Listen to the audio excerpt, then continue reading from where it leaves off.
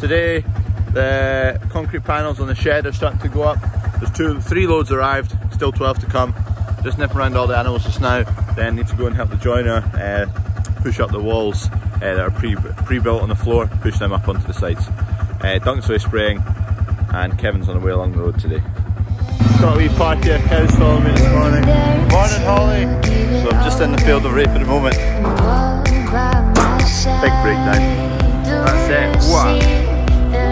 That's the drill working there. Do you hear it's cold? Do you want a bite of it? Just get So there should be a squad uh, here today to put up the net uh, on the shed so they can put the roof sheets up um, just for safety reasons. So that's why they're at the walls today. They'll crack on with the walls until the squad's finished putting up the net, then they can start the roof. Um, concrete panels, see them there. So these are the concrete panels and then what they do is they bolt these in, concrete panels, so they lift these into position, use these brackets, tighten them down um, to hold them in position while they build them up, all four of them on top of each other and concrete them in place. Currently trying to drag these sheets out of that shed because we need in with a forklift. It's taking its time, slide it along these battens.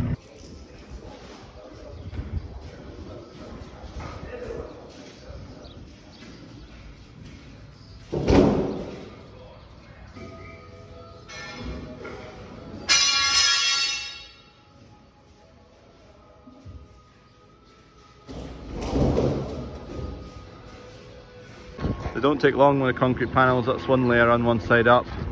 We've got another lined up along there, a few down the bottom and then they've cleared all this already and there's a pile here. So they're getting through them. There's another uh, 10 loads to come. Another load of concrete panels for the shed there. Just picked up the van for the new smashed window, well the, the smashed window that was replaced.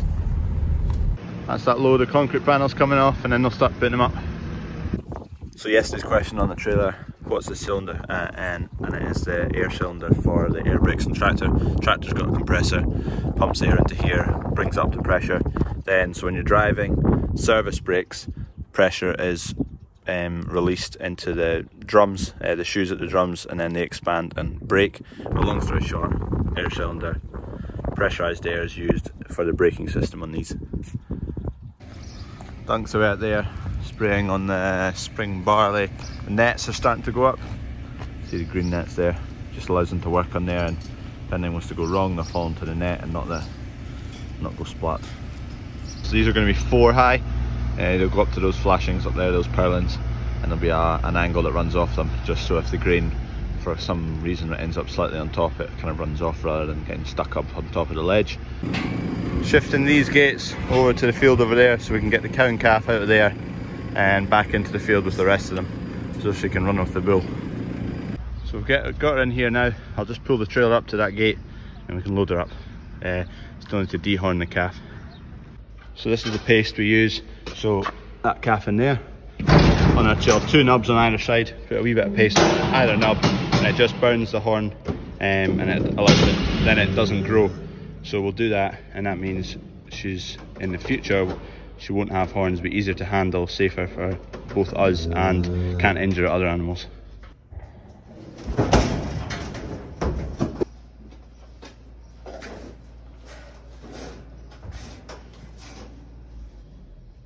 So that'll do it. We'll put her out in the field now with the cow uh, and the rest of them. She's quite calm now. She was a bit uh, fiery when we tried to get her in the trailer, but that's the calf dehorned and um, just put paste on each of our nubs um, where the horns are starting to grow tiny wee bits. Rub the paste in, kind of twizzle the hair so the cow can't lick it so much. You can put duct tape over the top of them, um, but that seems to work and do the job. So she can now go out into the field, her and her mother, uh, and the mother will be running with the bull there. So and that's the two of them out. She'll away enjoying the rest of them.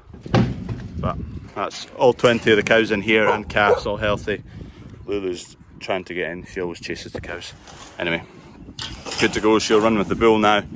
She's not too far behind the rest of them, so that's fine. I think she wants to be a calf.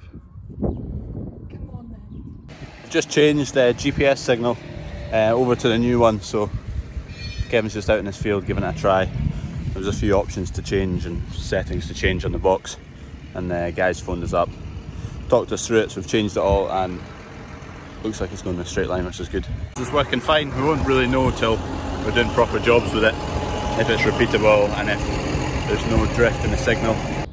Just talking to the Sparky at the moment because we need to run power from over there, the fuse box and the power coming in off the mains comes in in that direction. So we're going to run it from this corner of the shed all the way across to that shed and it's going to go across the beams in that shed, across the rafters. Big walls in, one on the sides, four metre tall. That's the biggest wall we've got for grain here. It's a big belter of a wall. So that big wall is about four, I think five loads of concrete walling, four or five loads of concrete walling. Still quite a few loads to come to finish the back wall there, back wall behind me, another wall there. So serious amount of concrete going into the shed floor, six inch pad all the way across it. Another serious bit of concrete. So they've done half of the netting uh, on the rafters. This is the net they put up that catches anyone if they fall. Uh, and then there's scaffolding along all the edges here, all the edges there. So basically, once they're up and within the scaffolding, they can't go anywhere other than land on a net, which is the safest way for putting all the roof sheets on. So you can see there's still gaps, and obviously they'll come along with filler compound, fill all these gaps, all these gaps. Um, the concrete will poured to six inches, so it'll come up to kind of roughly here. Outside there'll be a packing compound put in first, um, and then the concrete will then pour under there, pull it in there, and it'll kind of just seal everything off. That's the blocks that the that's the steel that the blocks sit on. So they're on the base of each of the pillars, each of the columns there, as you can see, coming along really nicely. It's an absolute beast. One thing I've not figured out what this hole is for, the bottom of this uh, columns there. I think they're on every pillar. Yeah. If you know what they are, put them down below. I'll ask tomorrow, I'll find out what they are from the guys. Bowser for diesel. Kev's been round this trailer today with a rust converter and obviously a wee bit of sandpaper as well. Um, converts the rust to a compound that you can paint on top of it. I think it's a, like a zinc or something, can't remember. Anyway, he's done that on quite a few rusty bits on this trailer, getting painted up. I washed it the other day, so this is the best time. It's actually clean. So you can see it kind of goes purpley. I think that's a zinc oxide. Paint over the top of it. Rust should be a lot better than when you just paint over normal rust.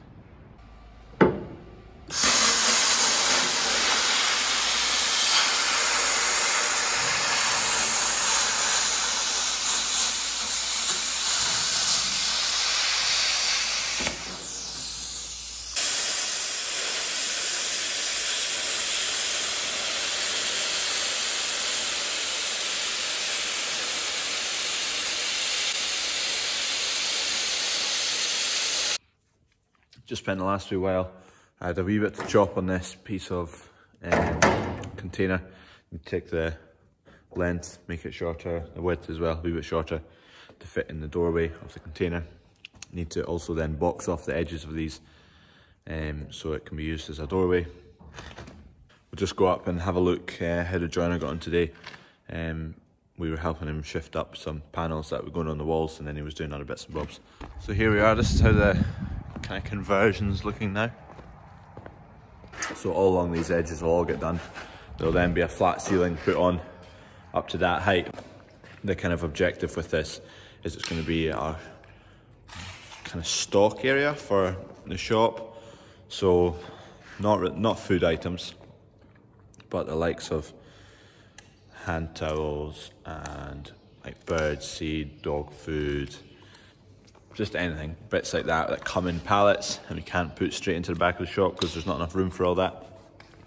So that's what this store's going to be. We're going to add racking into here, maybe get a wee industrial forklift um, to kind of tear about on the floor here because it's nice flat concreted floor. We concreted this in February, I think it was. So that's why we're doing this. And hopefully once it's finished, it'll be a lot more organised. We'll be able to utilise the space a lot better. This section in here is going to be an office to kind of control the stock uh, and possibly use for other bits and bobs. So maybe the us on the farm will be able to use it as a to eat our piece in rather than a dusty, cold workshop. Anyway, to be decided. Looking good though. This was in a question of the day and I forgot to answer it. So it's a trolley jack and this is just a wee one. Use it for cars. What's that, two ton capacity? Yeah, two ton. Uh, and then there's a big one there, which is like six or seven ton for, use that for tractors and heavy kit.